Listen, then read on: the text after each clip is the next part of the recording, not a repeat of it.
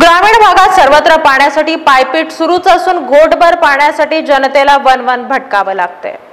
सोलापूर ग्रामीण भागात सर्वत्र पाण्यासाठी गहिरे संकट निर्माण झालं आहे.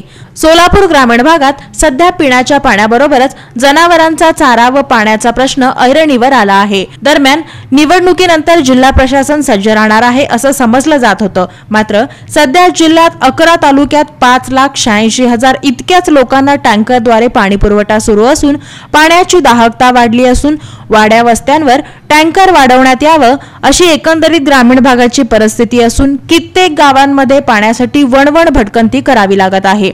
दिवसेंदिवस पाणी टंचाई वाढत असून ग्रामीण भागातील रहिवासी पाण्यासाठी हैराण झालेले चित्र सध्या सोलापूर जिल्ह्यात दिसून येत आहे.